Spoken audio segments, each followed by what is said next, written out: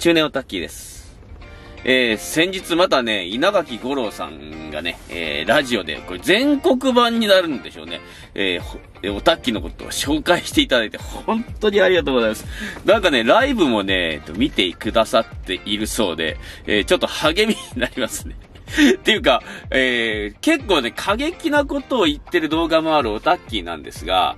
ちょっと有名な方もね、見て紹介してくださってるということでね、えー、本当は消したくないんですけど、迷惑がかかるかもしれないということで、えー、あの、曰く付きの動画何本か消そうかなとちょっと考えています。えー、意見がありましたらどうぞよろしくお願いします。あの、本当は消したくないんですよね。あれ当たってると思うんで、あの話。えー、そんなわけで今日は動画スタートしていきます。今日はね、このカメラを使って撮ってきました。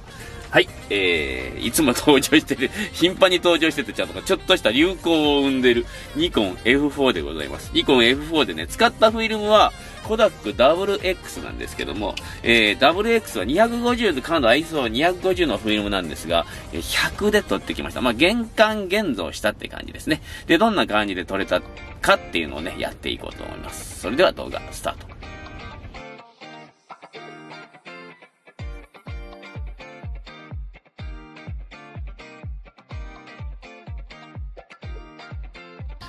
はい、えー、コダック WX なんですけどね、なんで250なのかはわからないんですが、ISO250 なんですね。モノクロ映画を撮影する際に250が調子いいのかなと思うんですけども、まあ映画用のフィルムということでね、ディテール重視であることは間違いないと思うんですね。あの、このちっちゃいね、その 35mm のフィルムを、まあ言うたらスクリーンに映すということで、ディテールが悪かったらもう話にならないぞということで、ディテール重視だとは思うんですが、え250ということでね、250でディテール重視なのかって気もするんですけどね。まあ今までね、その、えー、何度かね、えー、250で撮ったり、400で撮ったりっていう作例は何度か挙げましたけど、まあディテール的にはその、スチール写真用のフィルムとほぼほぼ変わらない感じはしますね。で、吸入剤になってるんで、T 状粒子、T 粒子のね、えー、モノクロフィルムに比べるとディテールは落ちるんじゃないかなっていうね、感じはするんですけどもね。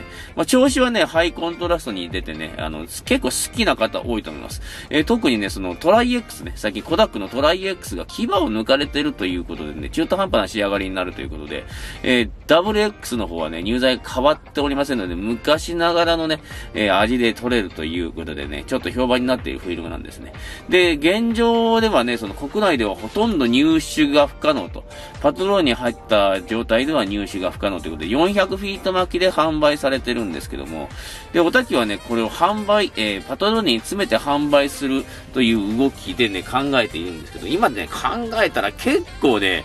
えー、送料とか考えたら結局1本あたり100円ぐらいしか利益が出ないんだな。で、不良品を作ったり配送ミスしたりっていうね、リスクを考えると利益はまあゼロに近いものになっていくんですけど、うわこれどうかなって感じですけど、まああの、使っていただきたいフィルムであるので、将来的にはね、販売に向けて動こうとは思ってます。まあどのぐらいのね、数生産できるかはわかんないんですけどね。まあそんな感じで今回ね、100で撮ってきて、100でどんな感じで撮れるのかっていうね、とりあえずね、100で撮って、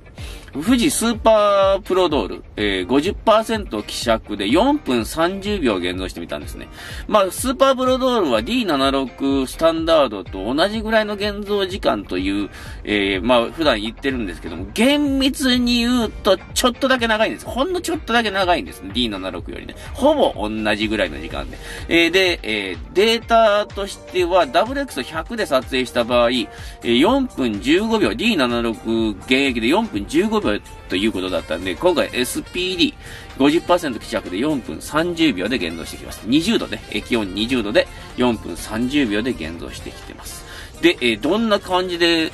てるかっていうね、今度作例なんですけど、今回はね、その、まず感度100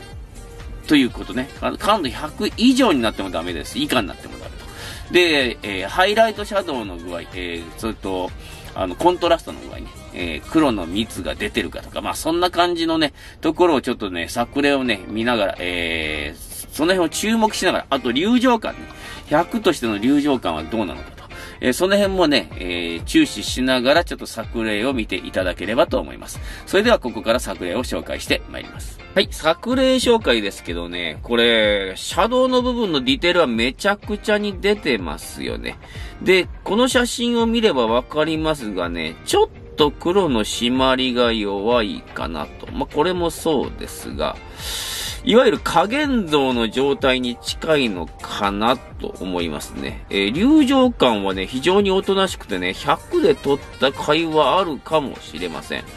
まあ、この写真を見ると、まあ、ちょっとこれ日が陰ってるんで、250の F8 で撮ったんで、まあ、アンダーになってちょうどいい具合になってるんでしょうけどね、全体的にね、えー、中間色に近いものが多いってことを考えると、加減像だったのかもしれませんね。えー、というわけで、もうほんのちょっとだけね、えー、時間を短くした方が良かったかな。まあ、ディテールはね、シャドウ部のディテールは非常に出てるんですが、えー、まあ、現像時間が長すぎたと。まあ、15秒、20秒ぐらい縮めてもいいかもしれないですですね。まあ、あの、現像時間をね、短くした方が黒が締まる傾向にあります。まあ、もちろんね、その、黒くなるっていうことで、黒が締まる傾向にありますんで、え今度100で撮ってね、えー、ちょっと現像時間短めでやろうと思います。でも、大体分かってきたんでね、えー、次回からは何らかの100のフィルムと比較していくことになります。これ最後の写真もね、え、シャドウ部、もうバリバリ出てますよね。もう全然、全然潰れてないっていうぐらいです。まあ、もしかしたらこのフィルムね、100で撮るのが一番美味しいのかもしれません。400で撮った感じ、250で撮った感じよりは、100で撮った方がね、あの、シャドウ部のディテールがしっかり出てると思いますね。えー、そんなわけでね、えー、100で撮るのがもしかしたら美味しいのかも。ということで、今後、まあ400でももちろん撮っていきますけど、えー、主に100で撮っていこうかなと思います。レンジファインダーカメラとかのね、テストも控えてるんで、100で撮った方が美味しいような気がしますね。えー、でね、え今後、どんなフィルムで、えー、と比較して撮っていくかっていうと、まあ大体ね、えー、Tmax100 とか、えー、デルタ100とか、えー、あとね、旧アクロスもまだあるんで、旧アクロス。えー、その辺と比較しながら撮っていこうと思います。アリアリスタエディウルトラ100とも比較の、えー、写真を撮っていこうと思いますが、まあ、とにかくね、その比較ということでカメラ2台並べて撮っていくことになっていくんですけど、まあ、全部と比較してもいいんですけどね、それは時間がかかりすぎるんで、まあね、あの、カメラ2台並べて撮っていくことになるんですけども、それも結構ね、時間かかるんです。やっぱね、2台で撮っていくって結構時間かかるんでね、えー、これから先はね、ちょっとテスト、時間をかけていくことになると思います。まあ、そんなわけでね、400で撮る、100で撮る、えー、これで他のフィルムと比較する動画はちょっとお待たせすることになるかもしれません。はい、えー、今日の動画はまあこんな感じになってまいります。ちょっとね、さらっとした動画になっていきますが、えー、孤独 WX ね、まあ販売1本100、100本売っても1万円。さらにリスクがあるということで、下手したら赤字になるかなってちょっとビビっておりますが、えー、っとね、結構ね、欲しいという方も、えー、多く出ております。でね、3本パックで、っていう話があるんですけど、3本パックにするとね、もう送料で完全に足が出ちゃうんですね。えー、できれば定型外では送りたくないんですよ。定型外はもう、あのー履歴が残らないんでね、最低でも書き留め。できればレターパックライト。できればレターパックプラスぐらい行きたいんですね。レターパックプラスだと、えー、受け取りのね、印鑑がいるようになってくるんで、えー、紛失の可能性が減りますからね。でもレターパックプラスだとね、520円も送料がかかるんで、えー、5本パックでも1本100円で送料がかかってしまうんですね。結構ね、その、このコダック WX のフィルムの販売をね、えー、フィルム屋さんがやめていったのはなんかわかる気がします。元が取れないんだな、結局ね。でもいいフィルムなんでね、えー、ちょっと割れ高になるかもしれないですけど、まああのー、十分にね、考えて赤字にならない。赤字になったら本当にね、もう終わっていきますんでね、チャンネルが。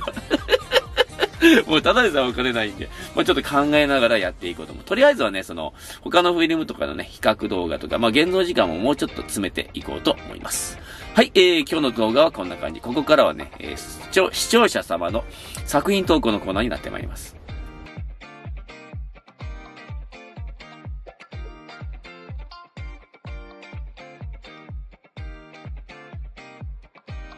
はい、作品投稿のコーナー。今日のトップバッターは野上さんですね。えー、中年オタキさんこんばんは。写真投稿させていただきます。タイトルは鋭い眼光。えー、機材はペンタックス SP。えー、SMC タクマ 55mmF1.8。フィルムアリサエデュウルトラ200自家現像 D7650% 希釈20度11分です。秋の快晴時に撮ったものですが、会長が綺麗に出ていて、とても気に入ってる一枚です。最近はテスト期間で写真撮りに行けてないので、早く撮りに行きたいです。ということですね。えー、これからも動画楽しみにしております。ということでですね、作品なんですけどね、本当にね、これシルバーボディのね、これ BMW E46 の前期だと思うんですけど、僕もこ僕もこの車で以前乗ってたんですけどもね、非常に綺麗、シルバーの会長がね、美しく撮れております。このね、車のね、ヘッドライトの部分をちょっと切り取って撮るという撮り方、非常に僕も好きで、たまにやっておりますね。えー、野上さん、ありがとうございます。えー、次はね、時神さんの投稿ですね。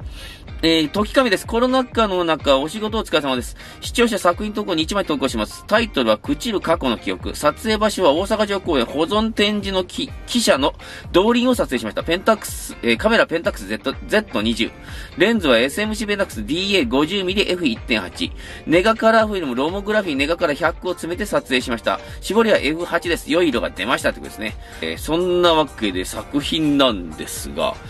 えこれね、もう朽ちていくということでね、もう結構ね、生態保存の機関車はね、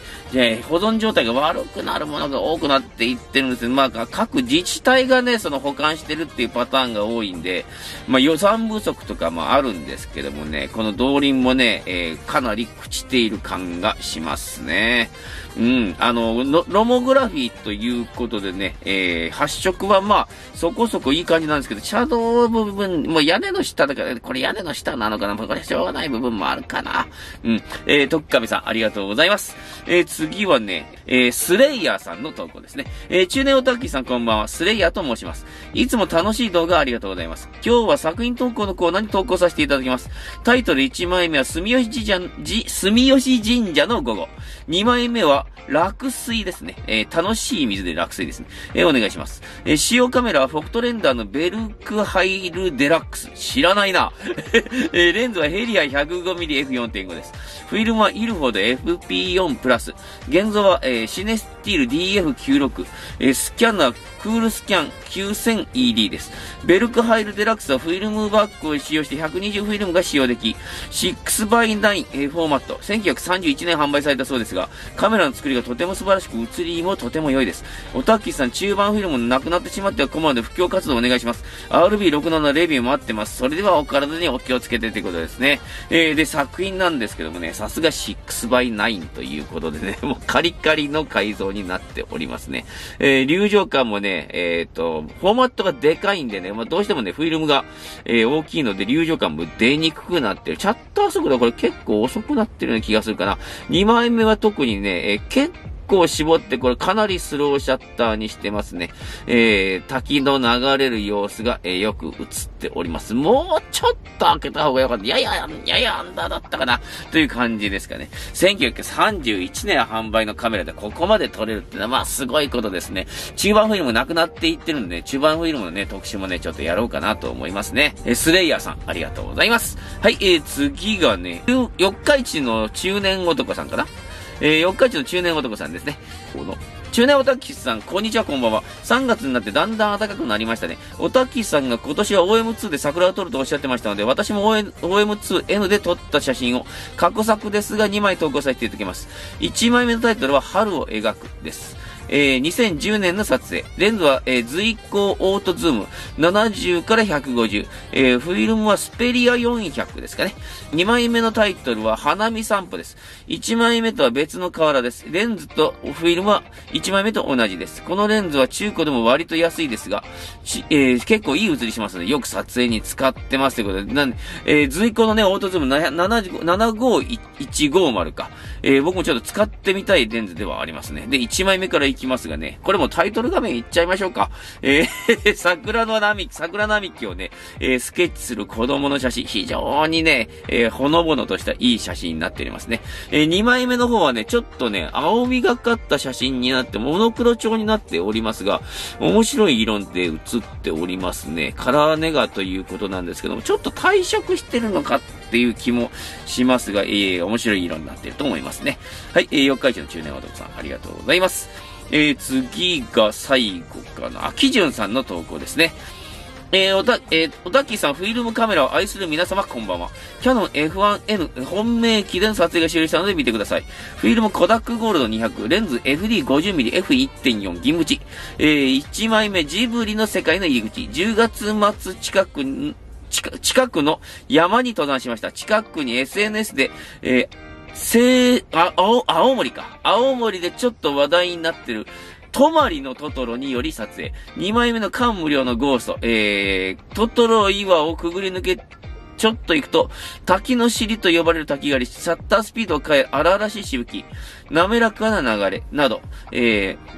ー、挑戦し、えー、銀縁のゴーストトに成功。フレアゴースト好きな自分にはたまらない1枚となりましたということですね。えー、で、1枚目からいきますけどね、これね、まあ、確かにね、なんかトトロのね、世界に出てきそうな、えー、景色ではありますが、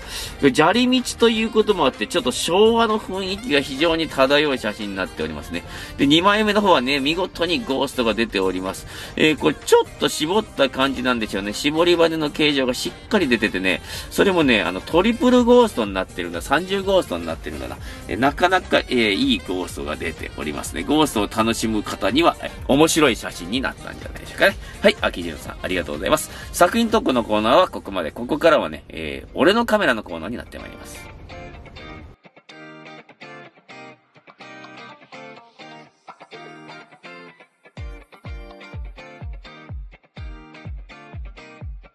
はい。俺のカメラのコーナー。今日はね、ポンポコさんの投稿ですね。えー、おたっきー様動画制作お疲れ様です。 PayPay フリマでオリンパスオートアイを入手しましたので、俺のカメラに投稿します。レンズにカビとコーティング剥がれでジャンク品と売っておりましたので、部品取りでもいいかと購入しましたが、レンズ分解清掃で綺麗になり、セレン露出系も正常で機能して大当たりでした。付属のパンフレットは取説なのですが、いい味出しているので一緒に撮りましたということで作品なんですが、これはもうタイトル画面行きましょうか。これは素晴らしい。えー、カタログがね、オリンパスの方、これ総合カタログ当時物なんでしょうね、これ。オートアイが映っておりますが、これはなかなか貴重だぞということで、これ下ね、カーペットかなんかなんでしょうけど、そのカーペットもね、ちょっと時代を感じさせるようなカーペットでね、マッチングしてるんですね。非常にいい作品となっておりますので、えー、タイトル画面にさせていただこうと思います。はい、ポンボクさん投稿ありがとうございます。今日の動画はね、こんな感じで終わっていきます。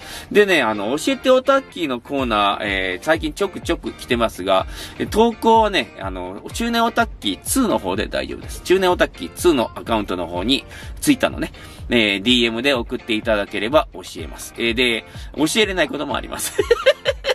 まあ、大したスキルはないんでね、オタッキーね。あの、写真学校に行ったわけでもなく、芸大を卒業、美術大を卒業したわけでもなく、写真部には1年半ぐらいしかね、まともに活動しておらおらない、えー、中年オタッキーでございます。えー、転校、高校2年の時に転校してね、転校先の写真部のレベルがあまりにも低かったんで、幽霊部員になっちゃって、1年と1か、1学期ぐらいしかね、写真部で活動してないんですね。あとはもうね、あの、自己流でやってるんでね、大したスキルはないんですが、まあ、長いことやってるんで、教えることもね、教えれることもあるとは思うので、何か、えー、カメラのこと、特にね、フィルムカメラのこと、フィルム写真のことで、わからないことがありましたらね、ご質問していただければと思います。えー、でね、えっ、ー、と、俺のカメラのコーナーとか、やったやっちまったコーナー、もう投稿がね、品切れになっておりまして、作品投稿のコーナーもちょっと品薄になっておりますので、またね、どしどし投稿の方よろしくお願いします。ちょっと動画の本数をね、多めにしております。えー、なぜかというと、フィルムを購入して、えー、販売するための資金が欲しいからです。なかなか苦しいな、これから。えー、そんなわけでね、今日の動画終わっていきます。えー、いかがだったでしょうか？まあ、そんな、あの、芸能人のね、方ね、え、稲垣吾郎さんがちょっと、えー、おたっきの動画をね、紹介してくれてるということでね、ちょっと迷惑防止のために、以前のね、曰く付きの動画を消すっていう感じに、んの考えになってるんですけどね、何か、えっ、と、意見がありましたので、ぜひコメントの方、お願いします。え、でね、やっぱね、その、芸能人の方っていうのは、そのスポンサーとかを背負って、えー、活動しておられるので、まあ僕の動画を押してるのに、スポンサーのことをけなしてるじゃないかとかね、言われたら困ると思うので、まあもちろんね、えっ、ー、と、まあ消さないでという意見ももちろんそうですし、もう消してもいいんじゃないっていうね、えー、コメントの方もね、どしどしお待ちしております。はい、えー、今日の動画はこんな感じになっていきます。いかがだったでしょうか。えー、中年オタッキーのね、動画に、えー、英語字幕をつけたチャンネル、えー、好調にね、えー、推移しておりますのでね、まだね、チャンネル登録してない方、まだ見に行ってない方、えー、ぜひぜひ見に行ってチャンネル登録、高評価、あとコメントとかもね、よろしくお願いします。えー、コメントとかね、高評価とかねえ、チャンネル登録が増えれば増えるほど、シェアされるスピードが速くなっていきますので、で、外人の方にね、どんどんね、その字幕入りの、えー、おたきの動画を見ていただいて、フィルムをどんどんね、消費していただければ、えー、フィルムのね、あの、販売中止とかがね、消え、その、消えていくというか、まあ、抑えられるっていうね、えー、状況になる可能性が高くなっていきますので、えー、ぜひご協力をお願いします。はい、えー、今日の動画はこんな感じです。おたっきの動画もね、5000名を超えましたが、えーと、チャンネル登録どんどん増えておりますが、まだ、えー、チャンネル登録されてない方はぜひ、チャンネル登録お願いします。で、